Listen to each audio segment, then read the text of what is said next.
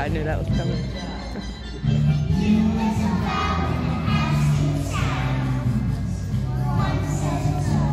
you can hear her so clearly. uh, uh.